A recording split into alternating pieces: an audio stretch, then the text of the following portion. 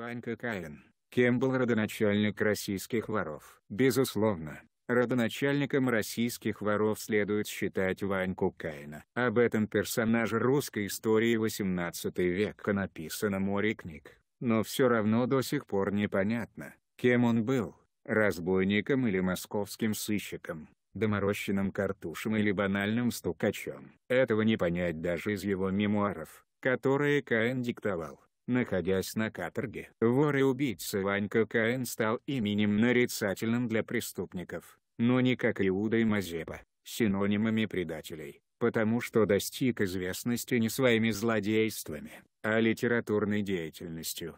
По мнению историка Евгения Акельева, автора недавно вышедшей книги «Повседневная жизнь воровского мира Москвы во времена Ваньки Каина», биографию Ваньки Каина, беглого дворового, нетипично. Лишенные личной свободы, крепостные слуги часто находились в более выгодном материальном положении, чем лично свободные солдатские дети, фабричные и многие обедневшие посадские. Поэтому дворовых редко можно было встретить на дне Москвы. Среди профессиональных преступников биография дворового Ивана Осипова, предпочитшего судьбу свободного и ни от кого не зависящего московского мошенника обеспеченной жизни крепостного слуги, является своего рода исключением. В частности, из 125 пойманных с помощью доносов Каина преступников, всего 8, менее 7%, были дворовыми. Читайте также.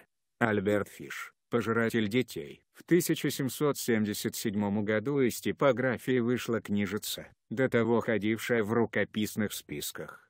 С традиционно длинным для той эпохи заглавием «Жизнеопохождение российского картуша», именуемого Каина, известного мошенника и того ремесла людей-сыщика, за раскаяние в злодействе получившего от казни свободу, но за обращение в прежний промысл, сосланного вечно в каторжную работу прежде в Рагервик, а потом в Сибирь, написанное им самим при Балтийском порте в 1764 году. Из этой автобиографии, написанной в Рагервике, ныне Балтийске, Эстония, позднейшие исследователи и романисты черпали основные сведения о Ваньке Каине, сына крепостного крестьянина села Ивашова ростовского уезда Ивана Осипова подростком взяли из родных мест в московский господский дом именитого купца Петра Филатьева, находившегося в престижном Ипатьевском переулке. Судьба Ваньки могла сложиться по-другому. Судя по материалам второй ревизии 1740-х годов,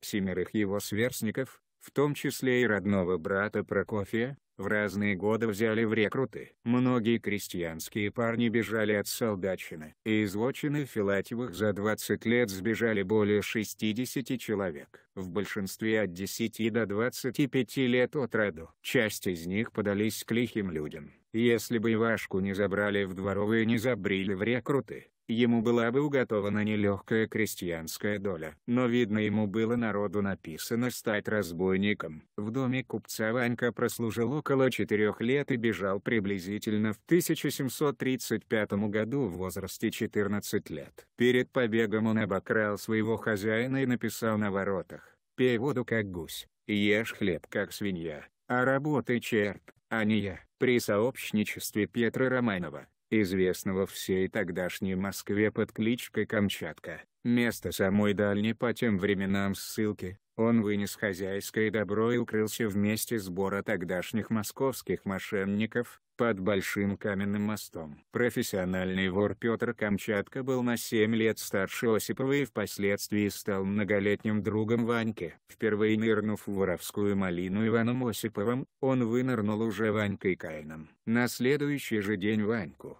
который покинул свое убежище, схватили дворовые Филатьева. Купец приказал оставить беглеца без еды и приковать цепью возле медведя, которых держали для господской потехи. Кормившая зверя дворовая девка поведала Ваньке, что по вине Филатьева или его дворни в драке недавно был убит гарнизонный солдат, труп которого холопы купца сбросили в заброшенный колодец. Не было бы счастья, да несчастье помогло. Стоило только купцу распорядиться сечь вора, как тот закричал. Слово и дело. Этот клич о государственном преступлении сначала спас Ваньку от порки, а затем дал ему путевку в жизнь. В московской конторе тайных разыскных дел в селе Преображенском Ванька поведал об убийстве государева солдата графу Семену Андреевичу Салтыкову. Из Стукалова приказа, как тогда называли политический сыск, Ванька Каин вышел с освобождением от крепостной зависимости, для жития вольным письмом. Эта история вполне правдоподобна. Петербургский историк Ева Анисимов в результате изучения документов тайной канцелярии выявил значительное число процессов, возникших по доносам и крепостных на своих господ. При этом масса изветов были чистой ложью, доведенных до отчаяния холопов. Среди документов Московской конторы тайных разыскных дел за 1734-1737 годы нет ни одного, в котором упоминался БПД Филатьев или кто-то из его дворни, пишет Евгений Акельев. Вместе с тем 26-летний Иван Осипов, сын крестьянина деревни Болгачинова Осипа Павлова, включен в ревизскую сказку, поданную в 1748 года из ростовской вотчины П.Д. Филатьева. Иными словами, Иван Каин во время второй ревизии душ еще оставался крепостным Петра Филатьева. Таким образом, эпизод автобиографии об освобождении Каина от крепостной зависимости в результате справедливого доноса на господина пока не находит документального подтверждения. Более того, будучи сыщиком и доносителем сыскного приказа, у Каина были деловые, а возможно даже и дружеские, отношения с Петром Филатьевым и его дворовыми людьми. Сохранились документы о покупке Ванька купца лошадей. Личностью Ванька Каин был неординарный, выделяясь из толпы московских воров своей изобретательностью. Когда его банда задумала ограбить один богатый дом, то Ванька провел сначала разведку, запустив, в окруженный высоким забором двор, пойманную за углом курицу. Пока ловили живность, Ванька внимательно изучил все ходы-выходы из замки. Ночью Козенко, глухая комната, где обычно хранили все ценности, несмотря на на заборы, замки и бдительных сторожей, оказалась ограбленной. В очередной раз, спасаясь от погони, Ванька и его дружки бросили украденные в большую лужу у приметного дома. Чтобы среди бела дня вытащить краденое, Пришлось прибегнуть к хитрости. На следующий день можно было наблюдать привычную для белокаменной картину. Посреди огромной грязной лужи застряла роскошная карета с отвалившимся колесом. Наряженная барыней-сообщница мошенников на глазах зевак хлестала по щекам и бронила своих нерасторопных слуг. Выудив пожитки и поставив на место колесо, Каин и его люди укатили во свояси. Хотя некоторые историки говорят, что Каин предпочитал красть в одиночку, занимаясь карманными кражами. Историк Анисимов высказал предположение, что Ванька Каин бедокурил из-за своей азартной натуры. Как иначе объяснить его авантюры, где нет никакой корысти? Например, завести в заснеженное поле приказчика, да опустить его по морозу без портков, обмазать дегтем надерзившего ему подьячего, по-нашему говоря, мелкого чиновника, освободить колодника и заковать в его цепи караульного солдата. Переодевшись посыльным в офицерский гвардейский мундир, Ванька прибыл в один монастырь, чтобы с помощью подложного указа освободить монашку, которая нарушила обет и вышла замуж, за что ее арестовали. Вообще-то Каин любил щеголять по городу в сюртуке, шляпе и перчатках. На пальце сверкал перстень серебряный вызолоченный с одним большим алмазом который Каин выиграл у помещика, отставного аудитора Московского флота Василия Афанасьевича Милюкова. В кармане вора-карманника кроме платка находилась копия сенатского указа о том, что ему следовало оказывать вспоможение. После объявления манифеста императрицы Елизаветы Петровны о прощении преступников, 28 декабря 1741 года Ванька Каин явился с повинной в сыскной приказ и предложил свою помощь в поимке прежних товарищей. На протяжении семи лет Ванька Каин являлся штатным доносчиком.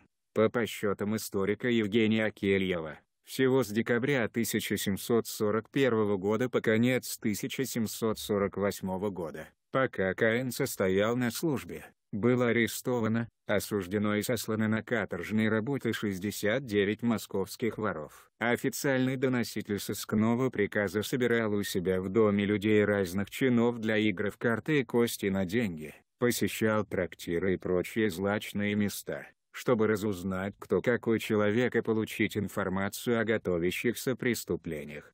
Несмотря на развратный образ жизни Ваньки Каина, который жил блудный со многими женками, как вдовами, так и замужними, москвичи часто приглашали его крестить детей. Состоятельные именитые горожане не стеснялись приглашать его в свой дом на чай. Наподобие братков образца 1990-х годов, Ванька Каин жертвовал деньги монастырям. В его опочивальне висела икона Иоанна Милостивого, видимо, его святого покровителя. Читайте также. Ганс Гросс превратил следствие в науку. Первая ошибка Ваньки, когда он выполз из своего убежища, в конце концов, обернулась в его пользу. Последняя, возможно, стоила ему жизни. Посаженный на хлеб и воду за ложный донос, Каин, уже отвыкший от подобного обращения, допустил промах. Он начал свидетельствовать как на своих сообщников на чиновников сыскного приказа и оговорил многих высокопоставленных взяточников. Смертную казнь Каину и его ближайшему подручному Шинкарке заменили наказанием кнутом. Приговоренным ворам вырвали ноздри и поставили клейма, литеру «В» на лбу, букву «О» на левой, а букву «Р» на правой щеке. Сосланный в Прибалтику Каин Скорее всего, не ломал дикий камень и не возил его в тачке на строительство дамбы. За наличные он покупал расположение тюремного начальства и на досуге баловался литературой, писал или диктовал свои мемуары. Кстати, никто из названных на следствии Каином московских чиновников вместе с ним на каторгу не отправился. Дело рассыпалось за недоказанностью. Показательная и очень знакомая история. Уважаемые читатели, Помогите увидеть этот пост большему количеству читателей. Ведь если его не лайкают и не пишут комментарии, алгоритм прекратит показы. А мне очень хочется, чтобы то, что мы пишем для вас, до вас доходило. Спасибо. И не забывайте подписываться на наш канал,